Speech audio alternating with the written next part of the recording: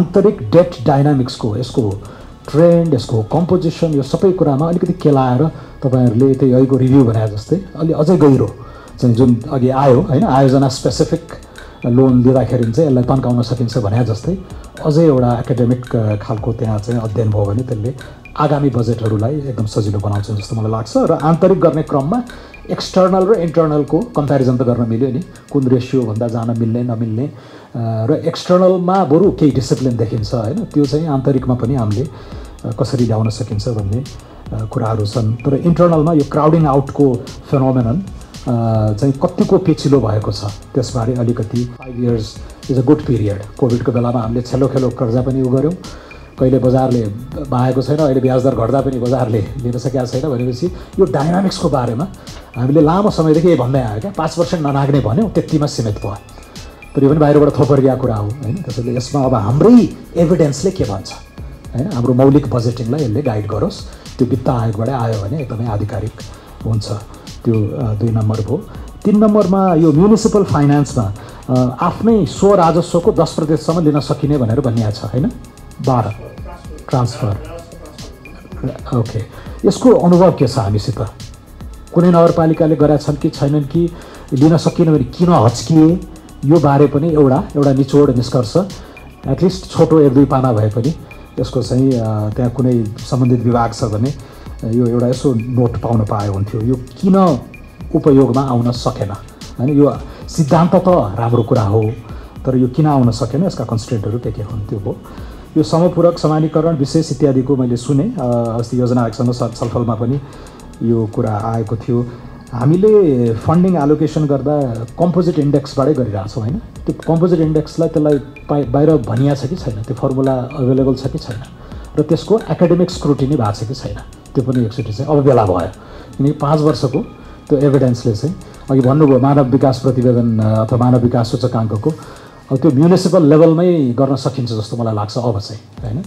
जुन multi indicator cluster सर्वेदेखि लिएर जस्तो एमपिआई चाहिँ अब गर्न थाकियो एकदम ग्रानुलर लेभलमा एचडिआईलाई पनि हामीले ग्रानुलर हजुरले प्रदेश भन्नुभयो जिल्लासम्मको त छ हामीसित तर पालिका तहसम्मै अब नपुगिकन त्यो चाहिँ त्यो भइदियो भने सजिलो हुन्छ। के छ त? पालिका तहसम्मै भएको इन्डिकेटर्सहरू कम्पोजिट इन्डेक्समा केले रिफ्लेक्ट गरिरहेको छ? त्यसको भार कति छ? वेट कति छ? ती कुराहरू चाहिँ अब अलिकति हेर्नुपर्ने बेला भयो जस्तो मलाई लाग्छ। र अन्तमा यो अब हामीले चालु पुँजीगत वित्तीय चाहिँ भन्दै गर्दा अब योबाट अलिकति फरक सभरेन वेल्थ फन्डको अवधारणातिर पनि हामी जानुपर्ने भयो। नभए अब पुँजीगत खर्च त यसपालि तिन सय दुईबाट पनि पोहोरको जति पनि नछुने जस्तो अवस्था देखिसक्यो। होइन पो ऋण र सावा चाहिँ चार सय अर्ब नाग्ने जस्तो छ त्यसैले यो यो अवस्थामा यो असाधारण असहज अवस्थामा चाहिँ अब नयाँ हामीले चाहिँ केही कल्पनाहरू गर्नुपर्छ। पोखरा विमानस्थल र जुन भैरवा विमानस्थलको जुन अठाइस अर्ब ऋण तिर्न हामी सकिरहेको छैनौँ यो चाहिँ के का आधारमा बनाएछ भन्ने मैले सोध्न खोजेँ हो। किनभने यो कस्ट एनालाइसिस आरआर आइआरआर त त्यहाँ त शून्य बराबर छ करिब करिब त्यो भएको हुनाले एउटै हो। अर्को चाहिँ तपाईँलाई मैले सोध्न खोजेको यो नहुने भएपछि तपाईँलाई भइगयो। अर्को यो तपाईँहरूलाई यो प्राकृतिक तपाईँहरू यो बजेट बनाउँदाखेरि चाहिँ तपाईँहरूको सल्लाह लिने चलन छ होइन? यो ऋणहरू आन्तरिक बाहिर ऋणहरू उठाउँदाखेरि सल्लाह लिने चलन छ होला के अरे यो विज्ञहरूले विज्ञको सल्लाह दिनु पऱ्यो नेताको भन्या नमानिदिनु पऱ्यो जस्तो पछिल्लो बजेटलाई म हेर्छु है एकछिन। राजस्व हामीले बाह्र खर्ब अडतालिस अर्ब बैसठी करोड रुपियाँ उठाउने भन्यौँ।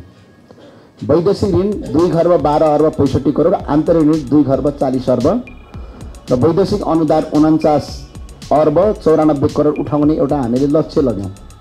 उठ्यो उठेन यसो समीक्षा होला। चालु खर्च एघार खर्ब एकचालिस अर्ब अठहत्तर करोड झन्डै पैँसठी दशमलव बिस प्रतिशत चाहिँ चालु खर्च गर्ने भन्यौँ। पुँजीगत खर्च तिन खर्ब दुई अर्ब सात करोड झन्डै सत्र दशमलव पच्चिस प्रतिशत गर्ने भन्यौँ।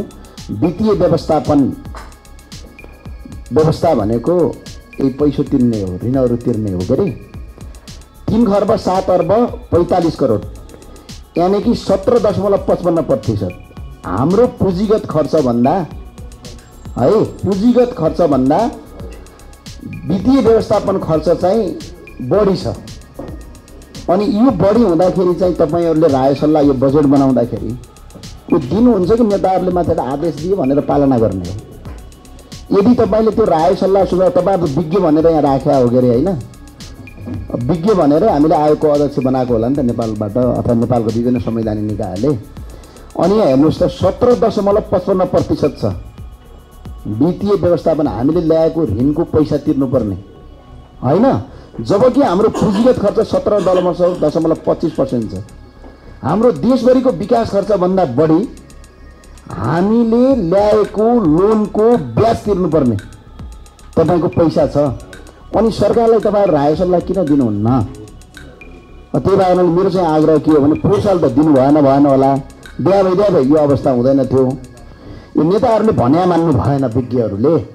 विज्ञहरूले नि नेताहरूको भन्या मान्न थालेपछि त देश त उदो गति लागिहाल्छन् अहिले हालत त्यही भएको हो। त्यही भए हुनाले म चाहिँ अनुरोध गर्न चाहन्छु भने आज आएको अध्यक्ष आएको हुनाले सभापतिज्यू मार्फत यो ऋण उठाउँदाखेरि देश बिजोको अवस्थामा छ चौबिस खर्ब ऋण पुगेको छ यही हालत हुने हो भने पाँच वर्षपछि तपाईँ हामी यो संसदको कार्यकाल सकिँदाखेरि हामी अडतालिस चालिस अरब खर्बमा पुग्छौँ। यो भइदियो भने देश कसरी तिर्ने? विदेशको रेमिटानले धाने देश हो। अहिले विदेशबाट पठाएका मान्छेहरूले पैसा पठाउनु छोडिदियो भने भोलिवटा देश दिन श्रीलङ्काभन्दा पनि बत्तर अवस्थामा जान्छ। किनभने हामीसँग डलरको सञ्चित रकम त विदेशबाट पठाएको रेमिटले पो बच्या हो त। यहाँ हामीले सान हान्नुपर्ने कुनै सरकारले गतिले काम गरेको छ भन्नुपर्ने कुनै कारण छैन। मैले अहिले प्रतिपक्षमा भएर बोलेको कुरा होइन। त्यो भए हुनाले अब आउने बजेटमा पुँजीगत खर्चभन्दा ऋणको तिर्ने ब्याज हामीसँग बढी छ। यो चाहिँ वित्त आयोगबाट एउटा सिफारिस जानु पर्यो। हामीले राजनीतिक वितरण चाहिँ गऱ्यौँ तल्लो तहसम्म। र यो वित्तको बाँडफाँड स्रोतको बाँडफाँड कसरी गर्ने भन्ने कुरामा हामी अलमलिएर यहाँहरूको कार्यकाल पाँच वर्ष मात्रै हुँदैछ। त्यस कारणले पनि जति काम गर्नुभएको छ बाहिर जति सुनिन्छ समयका हिसाबले राम्रै गरिरहनु भएको छ भन्ने अनुभूति छ। त्यसका लागि धन्यवाद भन्न चाहन्छु। र अहिले अध्यक्षज्यूले कुरा गर्दै गर्दाखेरि सञ्चार क्षेत्रलाई प्राकृतिक स्रोत नै मानेर यसको बाँडफाँड गर्ने भन्ने कुरा राख्नु भएको छ। यो कसरी स्रोत हुनसक्छ कि सक्दैन जिज्ञासा हो। भोलि यसको विवाद हुने विषय कस्तो रहन्छ भन्ने हो। अब अहिले हामीहरूले स्थानीय तहसम्म चाहिँ स्रोतलाई बाँडफाँड गऱ्यौँ। तर कार्यविधिहरू बनाउँदाखेरि चाहिँ समस्या सँगसँगै लग्यौँ। अनुदान भन्यौँ। सशर्त तिमीले यति हाल्यौ भने बल्ल यो हुन्छ। यो रिमोट क्षेत्रमा म सङ्घुवा सभाबाट प्रतिनिधित्व गर्छु। रिमोट क्षेत्रमा खर्च पनि कम भए हुन्छ। भूगोल अप्ठ्यारो छ। अनि गएको पैसा पनि तिमीले यति हाल्नैपर्छ अनि मात्रै तिमीले चाहिँ यो पैसा पाउँछौ भनेर। उनले त्यो उठाउने स्रोत उनको आफ्नो स्रोत कम हुने यो एउटा समस्या देखिन्छ र यिनी किनी लगेर चाहिँ जुटाएर अब निर्माणको प्रक्रियामा लाँदा त्यो खर्च त्यो टेन्डर गर्दा जति उसले कमिटमेन्ट गर्छ त्योभन्दा केही पैसा उब्रिया हुन्छ उसले अर्को शीर्षकमा खर्च गर्न पाउँदैन त्यो फिर्ता गर्नुपर्छ। त जति रिमोट भयो यसलाई विकसित गर्नुपर्ने ठाउँमा सहयोग दिनुपर्ने ठाउँमा कार्यविधि मार्फत झन्झटिलो बनाइयो। यसका विषयमा पनि आएको सुझाव भइदियो भने त्यस्ता क्षेत्रहरूलाई अलिकति सहयोग पुग्छ भन्ने लाग्छ मलाई। र अर्को हामीले ठुल्ठुलो स्रोतहरू मा चाहिँ लगानी जुटाउँछौँ गर्छौँ पाउँछौँ र त्यो स्रोत उत्पादन हुँदै गर्दा स्थानीय तहले पाउने कुरामा अहिले पनि ग्यारेन्टी छैन। म खालि उदाहरण मात्रै भन्न चाहन्छु। अरू पनि तेस्रो आयोजना यहाँहरूले सुन्नुभएको छ। अब चाँडै सम्पन्न हुँदैछ। पूर्व मन्त्रीज्यू हुनुहुन्छ सञ्चार ऊर्जामा भाग होला उहाँकै कार्यकालमा पनि आएको हो।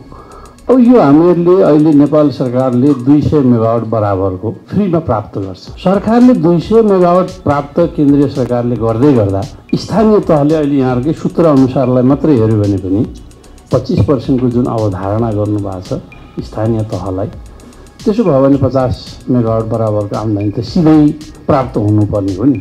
त्यसको सुनिश्चितता अहिले पनि छैन र यस्ता आयोजनाहरू आउँदै गर्दा यस्तो स्रोतको परिचालन हुँदै गर्दा त्यो एग्रिमेन्टकै बेला यो कुरा पनि उल्लेख गरिदिने गरेको सुझाव भयो भने पछि गएर स्थानीय तहले विवाद गरिरहनु नपर्ने धेरै आशा हारगुहार गरिरहनु नपर्ने परिस्थिति बन्छ होला भनेर मैले यो जिज्ञासाकै रूपमा या त्यो अधिकारका रूपमा यसो भइदियो भने सजिलो हुन्छ होला। त्यसो भने केन्द्रीय सरकारलाई पचास पर्सेन्ट प्रदेशमा पच्चिस पठाउने जुन कुरा छ हामीले अर्थतन्त्रलाई चलायमान गर्नका लागि खर्चको बाँडफाँड बा व्यवहारको बाँडफाँड पनि सँगसँगै हेर्नुपर्ने हुँदा केन्द्रलाई पनि चाहियो प्रदेशलाई पनि चाहियो तर स्थानीय खास गरेर जहाँ स्रोत प्राप्त छ ती उहाँहरूले कसरी पाउनुहुन्छ भन्ने कुराको अझ बढी ग्यारेन्टी गर्ने गरी यहाँहरूको आयोगले बढी सहयोग पुग्ने गरी काम गरिदियोस् भन्ने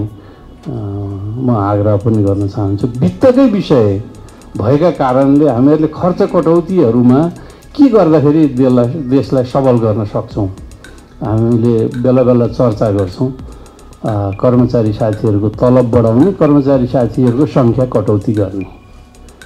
होइन सामाजिक खर्चहरू चाहिँ हामीहरूले एकदमै बढी लोकप्रिय हुनका लागि गरिरहेका छौँ। हामीसँग स्रोत चाहिँ छैन। हाम्रो यो चाहिँ नि यो लगानी सम्मेलनको चाहिँ औचित्य पुरा हुन्छ। यो विषयमा हाम्रो आएको धारणा के छ भन्ने कुरा मैले राख्न चाहन्छु। कुनै तहको वित्तीय संहिता पालना गर्नुभन्दा पनि उल्लङ्घन गर्ने भए जस्तो छ।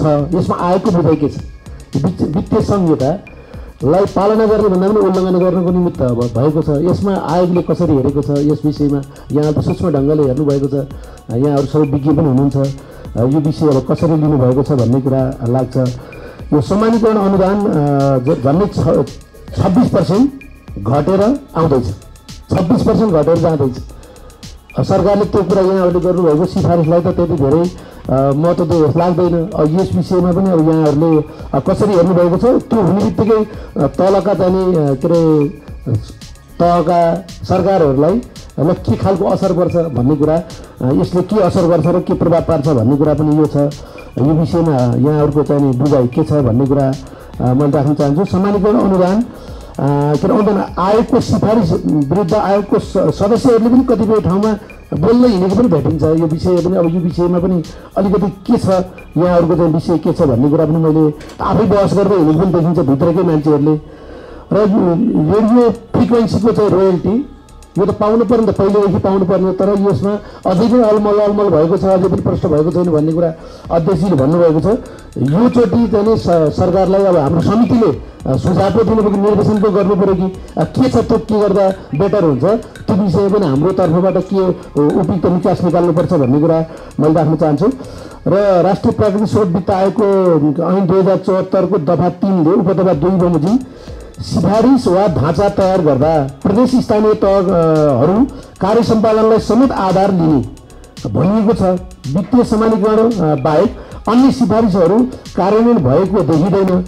के कसो भएको छ यसमा चाहिँ प्रश्न पारिदिनु हुन कसरी भएको छ के छ के अवस्था छ यो विषय पनि अझै यो यो भएको छ डाटा सहित यो भयो यो भयो भने अलिकति हामीलाई चाहिँ भन्दाखेरिमा राम्रो हुन्छ कि भन्ने लाग्छ। आयोग आयोगको संवैधानिक प्रबन्ध अनुरूप सिफारिस भएका निकायहरूले जुन काम गर्नुभएको छ र यहाँहरू धेरै महत्त्वपूर्ण क्षेत्रमा काम गर्नुभएको छ अवस्था के छ र यहाँ यहाँहरूलाई कस्तो यो पाँच वर्षमा कस्तो अनुभव चाहिँ यहाँहरूले गर्नुभयो? सरकारले किन लागू गरेन? र कस्तो अनुभव गर्नुभएको छ? र के के कुराहरूमा करेक्सन गर्नुपर्छ? हाम्रो संविधान बमोजिम किन हुन सकेन त किन हाम्रो यो सङ्घ- सङ्घीयतालाई यो चाहिँ मर्म र भावना अनुरूप यो यहाँहरूको सिफारिस अनुसार गएन भने त यो त निकै विकराल स्थिति ल्याउँछ यो किन भयो र यो पाँच वर्षको अनुभव यहाँले चाहिँ थोरै यहाँ राखिदिनु हुनको लागि मैले अनुरोध गर्न चाहन्छु। र विशेष र यो यो सशर्त र विशेषलाई एउटा मापदण्ड नै बनाएर गर्नुपर्ने। यो चाहिँ नि त्यो खालको मापदण्ड भएको छैन। पहुँच र प्रभावको आधारमा यो विशेष र यो सशर्त यो- योजनाहरू पहुँच र चाहिँ प्रभावका आधारमा भएका छन्। यसमा पनि यी अलिकति चाहिँ नि मापदण्ड बनाएर अब गर्दाखेरिमा यो के बनाउँदाखेरिमा के उद्देश्य के के उपलब्धि हुन्छ त लगानी गरेपछि त उपलब्धि हुनु पऱ्यो नि। त्यो खालको त देखिँदैन। लगानी मात्रै भएको छ यो विषय थोरै। र अर्को कुरा के छ भने यो वित्त आयोगको प्रतिवेदन किन दिनुभयो किन संसदमा पेस भएन? यो वर्ष र सबैले सिग्नेचर गर्ने प्रावधान छ। कुनै पत्र पत्रिकामा सुनेको एकजनाले सिग्नेचर गर्नुहुन्न भन्ने कुरा पनि हामीले सुनिएको छ। यो किन त्यस्तो भएको छ? त्यो विषयलाई पनि अब के कारणले त्यस्तो भएको छ भन्ने कुरा पनि थोरै अनुरोध गर्न चाहन्छु। र हाम्रो वित्त आयोगकै सदस्यहरूका विरुद्ध भित्रैका मान्छेले पनि अलिकति तपाईँको चाहिँ नि अब के अरे बस पैरवी गर्दै विभिन्न न्यायिक उसमा चाहिँ हिँड्ने जस्ता चाहिँ एउटा गलत प्रवृत्ति भएको छ। अझै एकजना पुरा भएको छ न भएकाले पनि ठिक काम नगरेपछि आयोगलाई काम गर्नु नदिएर यसलाई चाहिँ नि पुरै यसलाई ट्विस्ट र यसलाई चाहिँ अप्ठ्यारोमा पार्ने कुस कुनियतले त गरिएको छैन। त्यही भित्रबाट भन्ने कुरा लागेको छ। कम्प्लिट नगरिकन कि त नयाँ कार्यक्रम गर्नु भएन। होइन भनेदेखि जुन निर्माणाधीन भएर रुग्ण अवस्थामा र जनताको विश्वासमाथि नै प्रश्न चिन्ह लाग्ने गरेर जुन हाम्रा विकास आयोजनाहरू अहिले अधुरा रूपमा रहेका छन् यिनीहरूलाई कसरी पुरा गर्न सकिन्छ? अब अर्थ समितिमा यो पनि गम्भीर रूपले छलफल गर्नुपर्ने जरुरी छ। ऋण लिएर घिउ खान पो हुन्न। तर ऋण लिएर तपाईँको पुँजीगत खर्चमा हामीले बढायौँ भनेदेखि त्यसले परिणाम दिन सक्छ। यतातर्फ पनि तपाईँहरू विज्ञ भएको हुनाले तपाईँहरूको सोचाइ के छ? अब ब्याङ्कमा खरबौँ रुपियाँ अहिले चाहिँ छ तर व्यवसायहरू लिन हिचकिचाइराखेका छन्। सरकारले आन्तरिक ऋण पनि उठाउँछ यसबाट। पर्ने प्रभावको बारेमा पनि हामी छलफल गर्न सक्छौँ। तर आन्तरिकै ऋण उठाएर पनि हामीले कम्प्लिट हुन नसकेका विकास आयोजनाहरूलाई पूर्ण गरेर अरू गुणस्तरीय आयोजनाहरू निर्माण गर्नेतर्फ कसरी सरकार अगाडि बढ्न सक्छ? त्यसका निमित्त वित्त आयोगबाट प्राप्त भएको छ तपाईँहरूले गरिरहनु भएको छ। त्यसमा पनि ठोस हामीलाई सुझाव प्राप्त भयो भनेदेखि यो छलफलको सार्थकता हुनसक्छ जस्तो मलाई लाग्छ। म तथ्याङ्कतर्फ जान चाहन्न। तथ्याङ्क केही राम्रा पनि छन्। तथ्याङ्कहरू केही त्रासी त्रासादपूर्ण पनि छन् टेरेबल पनि छन्। तर हामीले गुणस्तरीय सडक निर्माण स्वास्थ्य विद्यालयहरूको निर्माण र खानेपानी त्यतातर्फ कसरी छिटोभन्दा छिटो त्यो दिशामा मुलुकलाई अग्रसर गराउन सक्छौँ त्यसमा वित्त आयोगले थोरै अलिकति यी कुराहरूमा फोकस भएर हामी अर्थ समितिलाई सुझाव दियो भनेदेखि अर्थ समिति पनि लाभान्वित हुनसक्छ र अर्थ समितिले सरकारलाई त्यस दिशामा प्रभावकारी रूपले अगाडि बढाउन पनि निर्देश गर्छ भन्ने मलाई लाग्छ। यो वर्ष त्यसको अन्त्य होस् भन्ने चाहना चाहिँ राखिएको छ र त्यस कारणले बजेटको यथार्थ बजेट मात्रै पुस्तकमा निस्कियोस् र पन्ध्र गते पनि सार्वजनिक होस् भन्ने चाहना यो विषयमा वित्त आयोगको तर्फबाट सुझाव गएकै होला। गएको वर्ष सामान्यकरण बजेट पालिकाहरू आएर आन्दोलन गरेर लैजानु पर्ने परिस्थिति भयो। यो पटक पनि त्यही परिस्थिति उत्पन्न हुँदैछ। त्यसकारण हामीले यो सशक्त सशक्त र यो सामान्यकरण बजेट दिँदा हामीले चाहिँ मतलब विशेष ध्यान दिनुपर्ने। त्यसमाथि पनि कटौती हुँदै गइरहेको छ भने वित्त आयोगको तर्फबाट पनि कम्तीमा यसमा चाहिँ विशेष ढङ्गको पहल सुझाव आओस्। जो केन्द्रीकृत राज्य व्यवस्था थियो यसले चाहिँ सबै खालका स्रोत साधनहरूलाई उपयोग सदुपयोग गर्न सकेन प्राकृतिक स्रोत साधनहरूलाई गर्न सकेन भन्ने आधारमा नै अहिले हामीलाई सङ्घीयता चाहिएको हो। त्यसो भएको हुनाले सङ्घीयता सफल हुने या असफल हुने भन्ने कुरा ती प्राकृतिक स्रोत साधनहरूलाई हामीले ठिक ढङ्गले चाहिँ सदुपयोग गर्न सक्छौँ कि सक्दैनौँ? र यसको उन्नति प्रगति हुने कुरा र अहिले हामीलाई जे सङ्कट आइलागेको छ त्यो सङ्कटलाई समाधान गर्न हामी सक्छौँ कि सक्दैनौँ भन्ने कुरा चाहिँ हामीले प्राकृतिक स्रोत साधनलाई चाहिँ अधिकतम सदुपयोग गर्न सक्छौँ कि सक्दैनौँ अधिकतम वैज्ञानिक ढङ्गले दोहन गर्न सक्छौँ कि सक्दैनौँ भन्ने कुरासँग सम्बन्धित छ भन्ने मलाई चाहिँ अलिक बढी लाग्छ। त्यसो भएको हुनाले जस्तै हामी मधेसमा गयौँ भने मसिनो झिँजा खोजिन्छ त्यस पछाडि चाहिँ गोबर जम्मा गरिन्छ भुस जम्मा गरिन्छ मुछेर त्यो झिँजालाई चाहिँ गुइठा बनाएर सुकाएर उपयोग गरिन्छ। तर हाम्रो दोलखाको माथि अर्थात् चाहिँ अलि लेक साइडमा गयौँ भने त्यहाँ ठुला ठुला रुखहरू त्यत्तिकै लडेका छन्। दाउरा काट्दाखेरि पनि ती काटिन्न। कि नयाँ त्यो राम्रो बल्दैन भनेर अब नयाँ रुखै फाँडेर मतलब चाहिँ बाल्ने गरिन्छ। त्यसो हुँदाखेरि चाहिँ अब त्यो झिझाको रूपमा चाहिँ जसरी सदुपयोग गरिन्छ माथि चाहिँ खेर गएका जो वन जङ्गलहरू छन् त्यसलाई सही ढङ्गले सदुपयोग कसरी गर्ने? अहिले ढुङ्गा खानेहरू छन् ती सबै बन्द भएका छन्। त्यसलाई कसरी गर्ने? विभिन्न कारणले भएका छन्। अहिले खास गरी संरक्षण क्षेत्रका नाममा धेरै कुराहरू चाहिँ त्यहाँ वर्जित गरिएको छ र त्यो सदुपयोग हुन पाएका छैनन्। त्यस्तै खानीहरू छन्। हाम्रा बाजेहरूले चलाएका खानीहरू अन्त फलाम खानीहरू छन् तामा खानीहरू छन् ती चिजहरू चलेका छन्। तिनलाई चलाउने कसरी भन्नेतिरबाट चाहिँ अलिक बढी यो प्राकृतिक स्रोतसँग सम्बन्धित वित्त आयोग चाहिँ त्यता पनि लाग्नुपर्छ र त्यसलाई सही ढङ्गले सदुपयोग कसरी गर्न सकिन्छ भन्ने दिशातिरबाट अलिक बढी होमवर्क हुनुपर्छ भन्ने कुरा म राख्न चाहन्छु। अरू त अघि नै मान्य सदस्यज्यूहरूले भनेकै कुरासँग मेरो सहमत छ। र अब यो अर्को कुरा चाहिँ अलिअलि यो विवादको कुरा पनि यहाँ छुस्स उठ्यो। मैले पनि छास छुस्स सुनेको छु। यो विवादकीय विषयवस्तुमा त्यो जे हो त्यो विषयवस्तु अर्थ समितिमा आउनु पर्यो। मैले आज सबै प्रस्तुत यहाँ गर्ने अब समयले पनि अलाउ गरिदिन्थ्यो। बजेटमा त्यो प्रतिवेदन अहिलेसम्म टेबल भएको छैन। सायद मान्यज्यूले प्रश्न उठाउनु भएको थियो। हामीले कानुनअनुसार आश्विन मसान्तभित्रै वार्षिक प्रतिवेदन बुझाइसक्नुपर्छ। त्यो कानुनअनुसारै हामीले हरेक वर्ष बार असोज मसान्तभित्र हामीले बुझाउने गरेका छौँ र यो वर्षको प्रतिवेदन चाहिँ अहिलेसम्म टेबल भएको हामीलाई जानकारी छैन। तर हाम्रो कानुनमा के भनिदियो भने अरू आयोगलाई यो लागु हुँदैन। यो राष्ट्रिय प्राकृतिक स्रोत तथा वित्त आयोगलाई मात्रै के व्यवस्था गरियो भने हामीले बुझाएको प्रतिवेदन सामान्य राष्ट्रपतिज्यूले प्रधानमन्त्री मार्फत संसदमा पठाएर संसदमा टेबल नभएसम्म त्यो प्रतिवेदन पब्लिक गर्न मिल्दैन।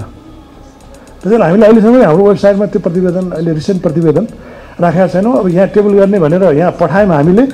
अब त्यो चाहिँ कतै पब्लिक हुन्छ कि पत्रकार मित्रहरूले भेट्नुहुन्छ कि भनेर हामीलाई जगजगी छ। भने त संसदमा सुरक्षित छ त्यो। त्यसले गर्दाखेरि त्यस्तो छ। त्यो चाहिँ मैले त्यही रूपमा निवेदन गरेँ। अब यो पुँजीगत खर्च घट्दै गएको वित्तीय व्यवस्थापनभन्दा अ, चाहिँ पुँजीगत खर्च कम भएको कुराहरू त्यही हिसाबले हामीले भनौँ न यो अलिकति यो खर्च व्यवस्था व्यवस्थापनलाई चाहिँ आजको भोलि नै परिवर्तन गर्ने छ रिकरेन्ट खर्च घटाऊ भन्यो भने त्यो अव्यवहारिक हुन्छ होला। तर बढ्न नदिने हिसाबले हामी बसेर त्यसलाई एक्सर्साइज गऱ्यो भने कहीँ न कहीँ त्यसको वे आउटहरू चाहिँ भेटिन्छ। त्यसले गर्दा भविष्यमा हामीले भनौँ थप पुँजीगत खर्च गर्न सक्ने स्पेस बन्दै जान्छ होला। त्यसैले त्यो हिसाबले चाहिँ जानुपर्छ। अब यो प्राकृतिक स्रोतको लगानी र प्रतिफलको ढाँचा सिफारिस गर्ने जिम्मा संविधानले यो आयोगलाई हिसाबले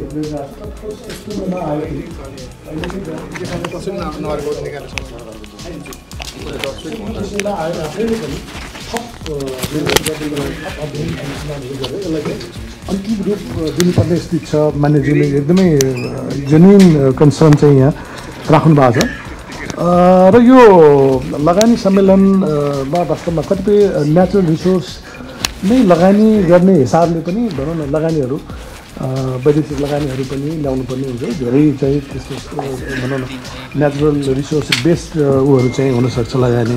त्यो हिसाबले तिनवटा तहको सरकारको बिचको लगानीको ढाँचा र त्यसको प्रतिफलको बाँडफाँडको ढाँचाहरू डिफाइन भयो भने त्यो कामलाई चाहिँ अलिकति सहज र सरल हुन्छ भन्ने हिसाबले चाहिँ सायद त्यहाँनिर आयोगको पनि संलग्नता चाहिँ इम्पोर्टेन्ट हुन्छ होला।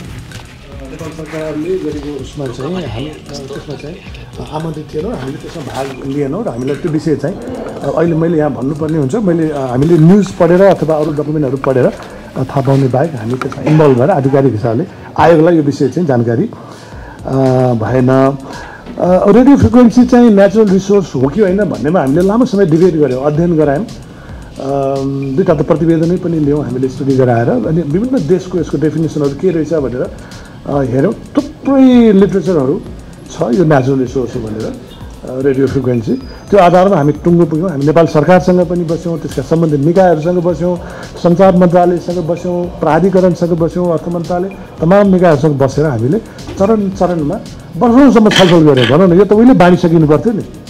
अहिलेसम्म बाँडेको छैन हामीले यसैमा बितायौँ। त्यसैले त्यसमा प्रशस्त लिट्रेचरहरू छ। त्यो चाहिँ नेचुरल रिसोर्स हो भन्नेमा चाहिँ अब कन्फ्युजन भएन। अब त्यो बाँध्नलाई चाहिँ त्यसलाई विभाज्य कोषमा लैजानु पर्ने नेपाल सरकारले विभाज्य कोषमा लानलाई अलमल गरे हुनाले बाँध्न चाहिँ अस- असहिलो भएको तर अब यो चाहिँ बाँध्नुपर्छ भन्नेमा नेपाल सरकारको पनि सकारात्मक अ, ऊ नै अ, प्राप्त भएको छ। त्यसैले बाँधिन्छ होला भन्नेमा चाहिँ मैले निवेदन गरेँ। अब भनौँ न हाम्रो कतिपय आन्तरिक कामको कुराहरू पनि यहाँ उठ्यो। अब आयोगमा विभिन्न मतहरू हुनु स्वाभाविक हो। यो कलेक्टिभ विजडम त्यसैले आयोगको परिकल्पना चाहिँ पाँच पाँचजना सदस्यको बन्दोबस्त गरे हुनाले विभिन्न सदस्यहरूको आफ्नो ओपिनियन हुनसक्छ आफ्नो जजमेन्टहरू हुनसक्छ होइन? त्यसैले त्यहाँ छलफल हुन्छ र एउटा चाहिँ र त्यसलाई एउटा टुङ्गोमा पुर्याउने पनि प्रक्रिया छ। कानुनले संविधानले ती कुराहरू चाहिँ तोकिदिएको छ। त्यसैले त्यो प्रोसेसमा चाहिँ हामी सबैले भनौँ न आयोगका पदाधिकारीहरू अध्यक्ष लगायत सबैले त्यो कुराभित्र बस्नुपर्छ त्यो भनौँ न कानुनले दिएको त्यो परिभाषाभित्र हामी सबै बाँधिनुपर्छ। त्यसैले भनौँ न आयोगको ओज र गरिमा मेन्टेन गर्ने गरी त्यो त्यो डिसिप्लिनमा बस्नु हामी सबैको दायित्व हो त्यो। ठुलो जिम्मा दिएर भनौँ न यत्रो चाहिँ ऊ पछि चाहिँ नृत्य भाव नि सारा चाहिँ भनौँ न संसदीय सुनवाई गरेर त्यति ठुलो नेपालका सबैभन्दा माथिल्लो तहका मान्छेहरू बसेर सिलेक्सन गरेर होइन अनि त्यत्रो बिसौँ वर्षको अनुभव त्यो कुराहरू राखेर संविधानमा पैँतालिस वर्षको होमेर राखेर यो सबै मेच्योरिटी यो सबै कुराहरू अनुभवहरू सबै हिसाबले चाहिँ त्यो आओस् भनेर संविधान निर्माताले गरेको परिकल्पना थियो। त्यसलाई हामीले कम्प्लिटली रेस्पेक्ट गर्नुपर्छ भन्नेमा चाहिँ कुनै कन्फ्युजन छैन। र मेरो अनुरोध चाहिँ भनौँ न यो संसदीय सुनवाई हुँदै गर्दाखेरि त्यति बेला पनि कतिपय त्यो कुराहरू हेर्ने परिस्थिति सायद हजुरहरूले आफ्नो उसमा चाहिँ सुनवाई समितिमा कतिपय मान्यज्यूहरू हुनुहुन्छ होला होइन? त्यहाँ पनि यो कुराहरू चाहिँ भनौँ न त्यो पर्सनालिटी डिसअर्डर छ कि भन्ने हिसाबले चाहिँ सायद यो कुराहरू त्यहाँनिर हेरियो भने आगामी दिनमा भनौँ न कतिपय आयोगहरूमा यस्तो कुराहरू यदि आएको छ भने त्यो सुन्ने परिस्थिति चाहिँ हुँदैन होला। अब आयोगको प्रतिवेदन यहीँ भएको मैले निवेदन गरेँ। अब यो वास्तवमा मान्य सोनी वाग्लीज्यूले एकदमै महत्त्वपूर्ण सुझाव दिनुभएको छ। हामी त्यसलाई मनन गर्छौँ। अध्ययन गर्ने विचारै छ।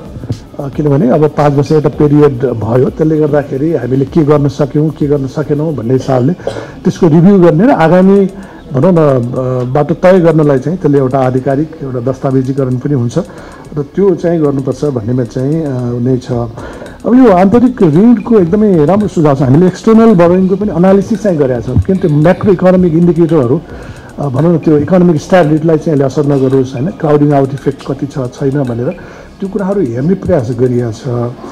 यो हेर्दाखेरि मैले अघि नै निवेदन गरेँ विगत अडतालिस वर्षको डेटाहरू हामीले एनालिसिस गर्दै गर्दा र त्यतिखेरको बोरिङ गरेको र त्यो मार्केटको त्यो इन्ट्रेस्ट रेटको त्यो रिलेसनसिप कोरिलेसन हेर्दा चाहिँ यसको क्राउडिङ आउट इफेक्ट चाहिँ विगतमा पनि एकदमै कम।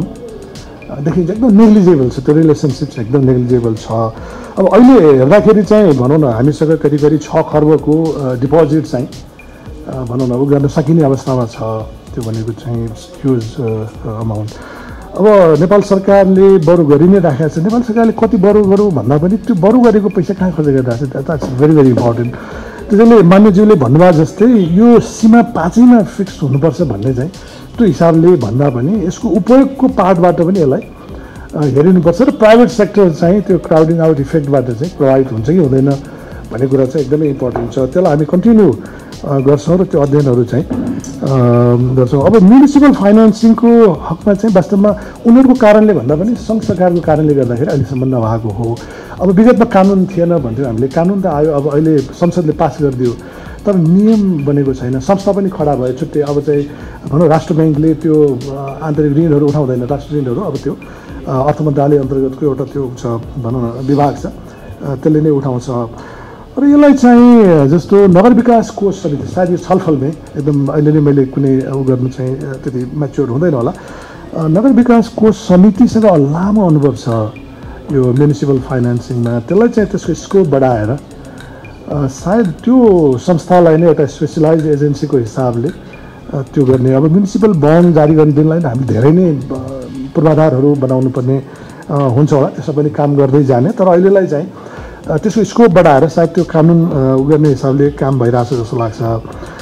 अब चाहिँ भनौँ न यो फर्मुलाहरू रिभ्यू गर्ने पनि अब टाइम भयो। जस्तो हामीलाई संसदले दिएको अनुसार पनि हामी रेभेन्यूको चाहिँ नेक्स्ट इयर रिभ्यू गर्छौँ। अब समानीकरणको पनि अब रिभ्यू गर्नलाई चाहिँ अब चाहिँ पाँच वर्ष भनेको अब चाहिँ रिभ्यू गर्ने बेला भयो। त्यो हिसाबले चाहिँ यो छलफल र बहस हामी यहाँहरूको पनि सुझाव हामी अपेक्षा गर्छौँ र यो छलफल बहस सुरु गर्छौँ हामी। र एकदमै हाम्रो काम हामीलाई काम लाग्ने सुझावहरू आएका छन् त्यसलाई मैले मनन गरेँ। मैले दिपक खड्का मान्यज्यूले भनेको दूरसञ्चार फ्रिक्वेन्सीको कुरा मैले निवेदन गरिसकेँ। अब यो शर्त राख्ने कतिपय विशेष अनुदानहरूको बारेमा भनौँ न अनि यो समपूरक अनुदानको बारेमा पनि प्रश्न उठेको छ। मैले यहाँ प्रश्न पार्नुपर्ने हुन्छ। समपूरक अनुदान र विशेष अनुदान चाहिँ हामी सिफारिस गर्दैनौँ। अघि सोडी विभागले मान्यज्यूले उठाउनु भए जस्तै जस्तो वित्तीय समानीकरण अनुदान चाहिँ हामी सिफारिस गर्ने हो।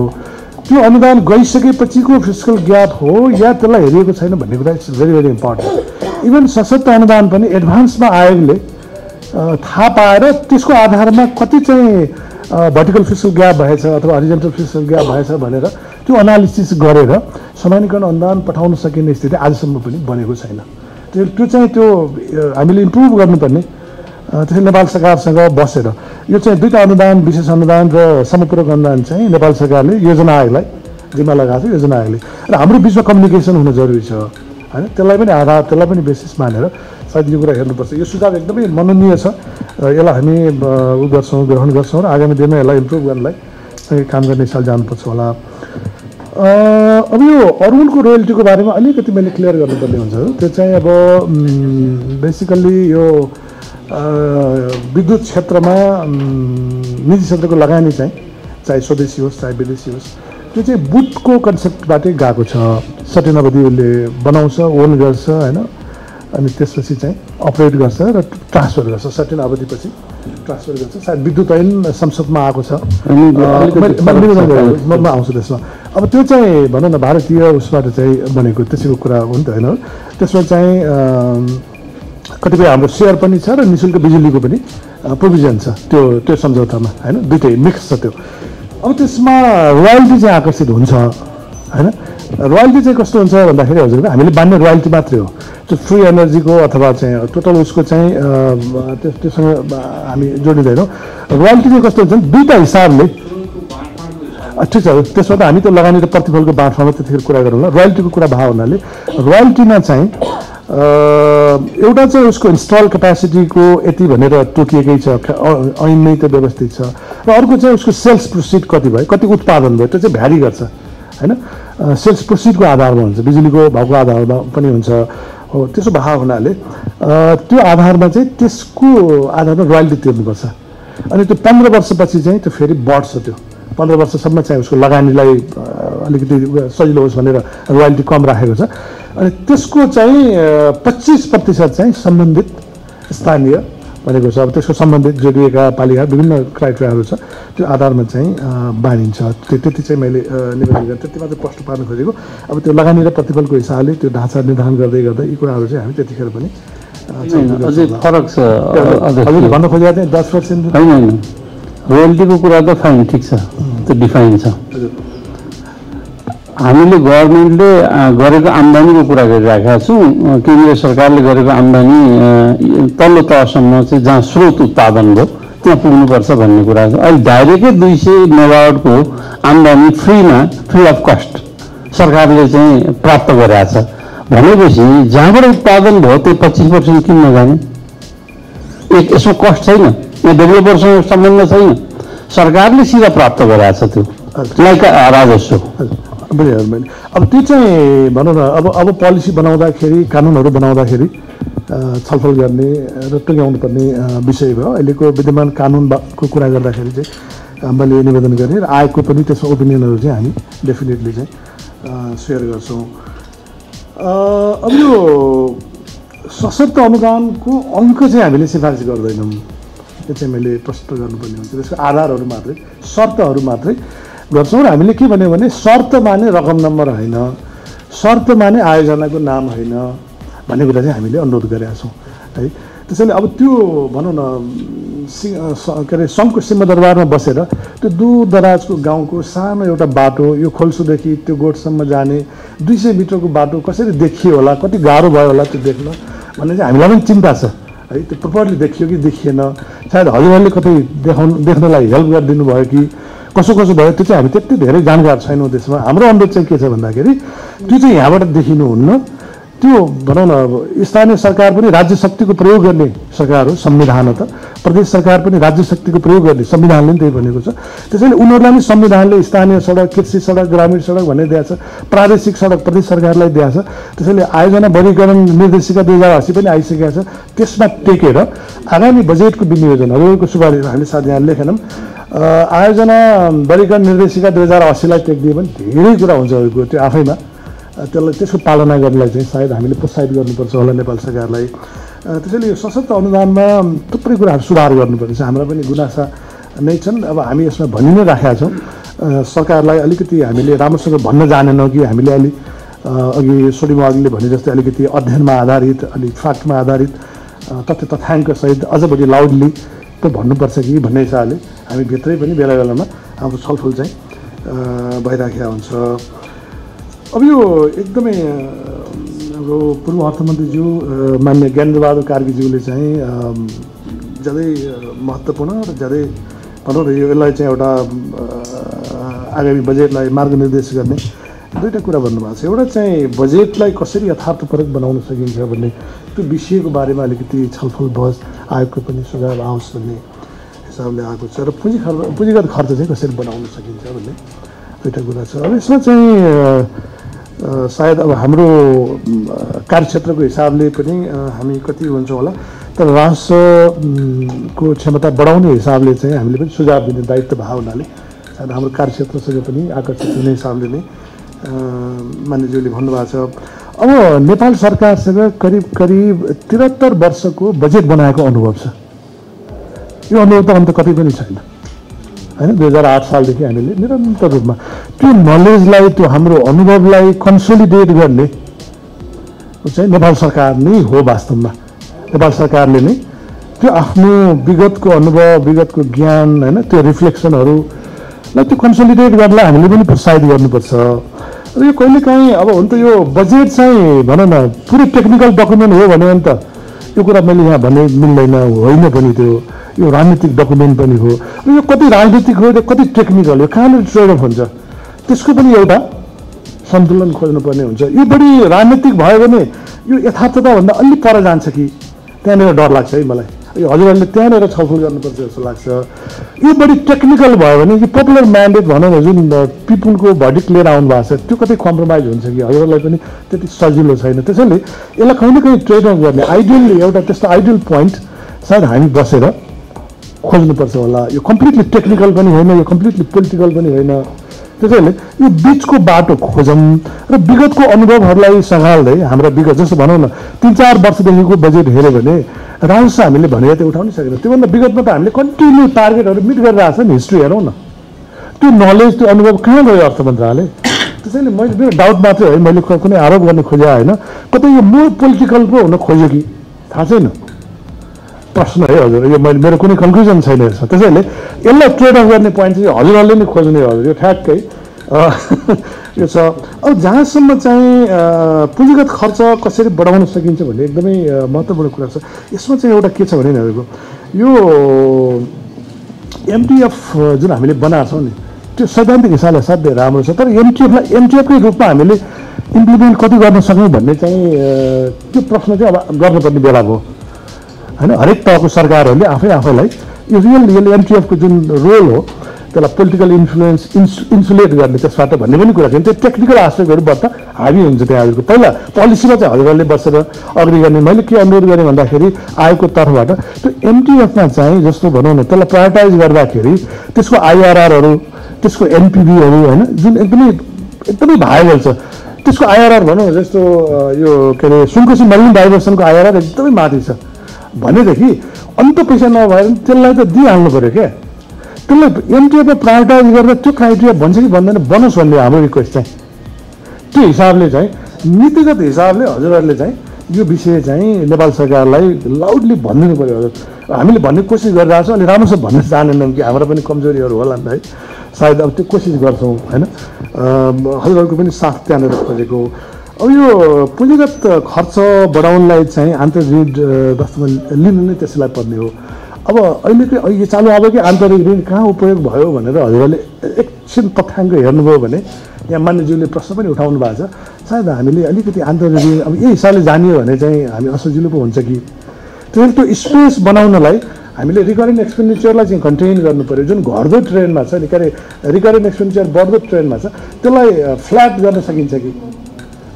बढ्नबाट रोक्न सकिन्छ कि? घटाउन त सकिँदैन होला गाह्रो होला होइन? अलि बढी अप्टिमिस्टिक हुन्छ होला मोर त्यसैले फ्ल्याट मात्रै गर्न सकिन्छ कि? त्यति चाहिँ मैले निवेदन गरेँ हजुर। अब यो चाहिँ छलफल गरौँ। एउटा मैले अब लास्टमा मैले सघाएको यो संरक्षित क्षेत्र अनि प्राकृतिक स्रोतको उपयोगको कुरा धेरै महत्त्वपूर्ण कुरा आएको छ। वास्तवमा जोसँग जे छ त्यही प्रयोग गर्ने हो।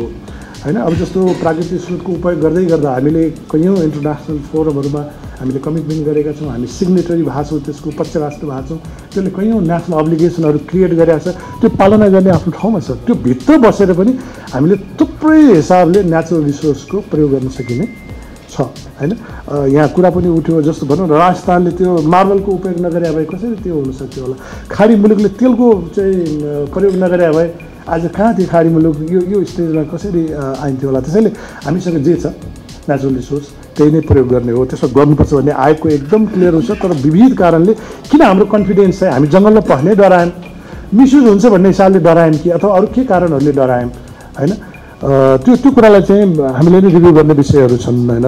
र अब मैले एउटा कुरा मैले यहाँ निवेदन गर्नै पर्ने भयो जस्तो हामीले निकुञ्ज क्षेत्र हेऱ्यो भने ठुलो पर्सेन्ट चाहिँ हाम्रो भूगोलको निकुञ्ज क्षेत्रभित्र पर्छ त्यो निकुञ्ज क्षेत्रको आसपासमा बस पर्ने जनताहरूको जुन अवस्था छ नि त्यो चाहिँ क्रिटिकल छ हजुरको त्यो किन मैले अलिक सिरियस भएर मैले उनीहरूसँग अलिक नजिक भएर बुझ्दाखेरि चाहिँ के पाइयो भने जस्तो माडी नगरपालिकामा हामी पुगेका थियौँ होल माडी नगरपालिका बफर जोनभित्र पर्छ यस्तो थुप्रै ठाउँमा छ हिमाली एरियातिर त सबै पालिकाहरू नै बफर जोनभित्र पर्छ यो मा के अरे माडी नगरपालिका चाहिँ बफर जोनभित्र पर्छ पर्छ र चितवन पर्छ।